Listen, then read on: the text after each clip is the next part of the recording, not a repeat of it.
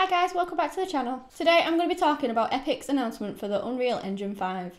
This engine will potentially give us the next generation of video game graphics for PlayStation 5, Xbox Series X and PCs.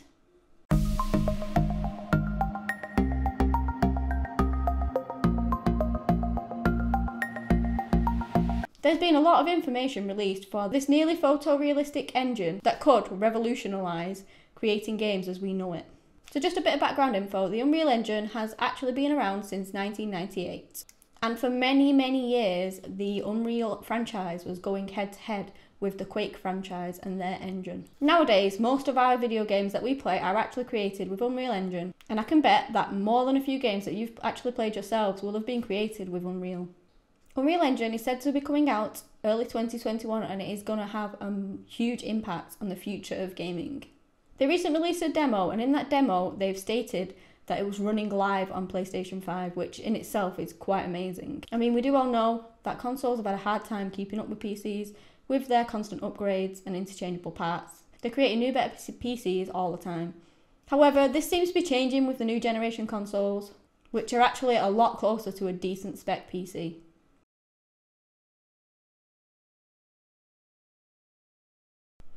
They've also stated that games actually created on Unreal Engine 4 will be able to be migrated to Unreal Engine 5.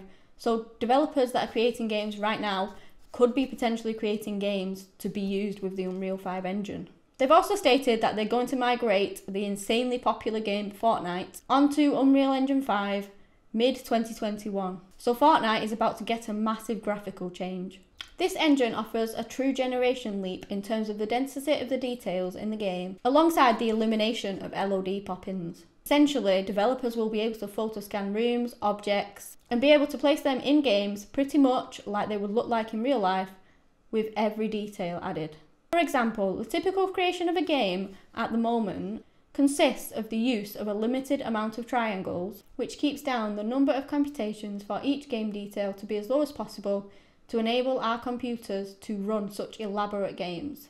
They use a rough silhouette of a character and then project higher quality lighting and textures to lower the quality character. These are called maps. They do this to make it look as real as possible. But now, with the use of nanite technology, it allows a developer to use millions of tiny triangles to build virtual geometry that could be identical to high quality real world scanned items down to a sub-pixel level, thus making games look like they would in real life.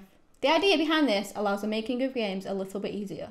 You will be able to have realistic objects, maps, worlds even, in these games thanks to the billions of triangles. Generally speaking, you cannot have all these triangles in memory at once. But now, with the new high-powered I.O. of PlayStation 5, the game will be able to stream these in as you play through it in real time.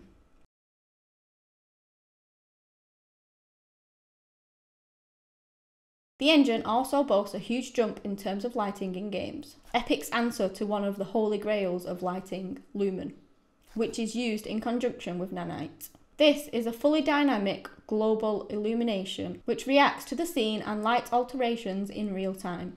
Most games actually use trickery for lighting by pre-calculating illumination through a specifically made light map. Each object has to have at least one or more of these maps, which is generated offline and essentially baked into the scene using textures. With this, the scene has the illumination, but the lights cannot move as this takes up a lot of performance. Essentially, the lights have been added to the object's surface, but are in fact static. Other spectacular lighting, such as on a metal surface or a water reflection, is utilised in a different way. This is done using cube maps or screen space reflections. Lumen, however, is essentially a non-triangle ray tracing based version of bounce light, which means it distributes light around the scene after the first hit of lighting. They showcase this in the demo when the sunlight hits the rocks, of the statues, bouncing off these, changing its colour, making it truer to real life. This makes the light reactive, adjusting in real time to changes in the environment, such as a moving object or a flashlight.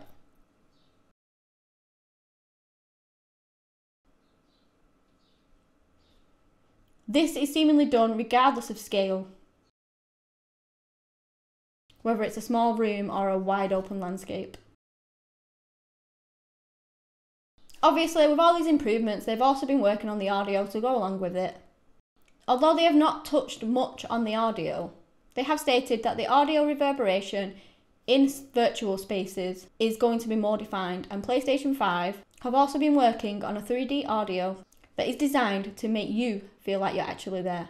This, coupled with the photorealistic worlds and the new lighting dynamic, make great potential for games of our future.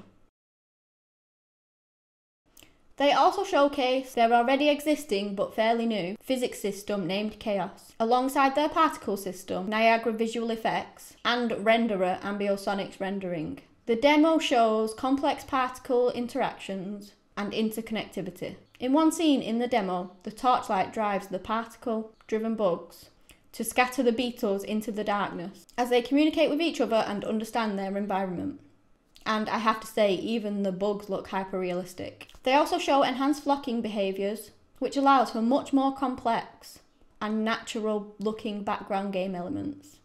On the character side, there are new tools which assist with the central gravity of characters, with the new predictive foot placement for walking over complex terrain to make a movement that works with the amazing looking geometry, removing imperfections to give a much more natural walk on the terrain.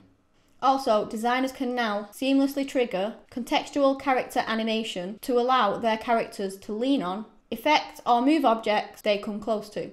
Epic's philosophy in providing all of these tools is to make it easier for people to create their game content so they can actually focus on other aspects like gameplay. This new technology is very exciting and has the potential to revolutionise the gaming world as we know it.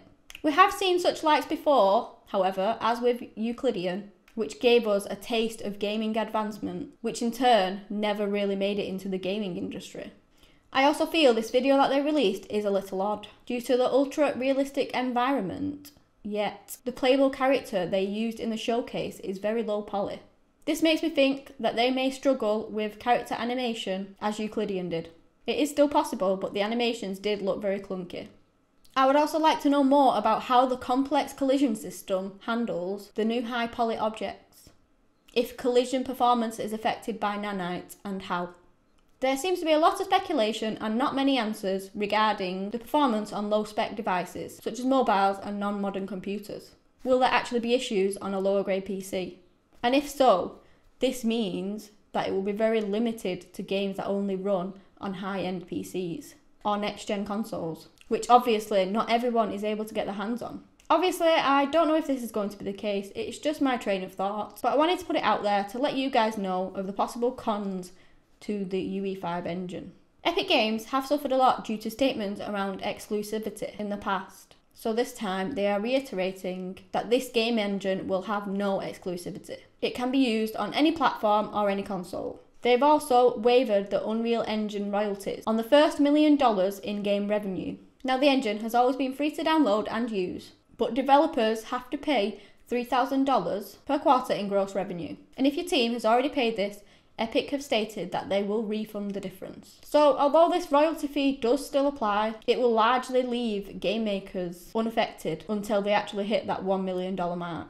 So, what this essentially means is that you will be getting all of these awesome new features for free, which is pretty exciting. Obviously, many of us love games, and this new engine could forge a new path for new and exciting creators to utilise the full extent of their imagination whilst making it actually easier to create their games at a much lower cost and risk. And we, as the gaming community, are all for it. So, guys, obviously, we have a lot of questions, and more information is going to be released on the engine over time.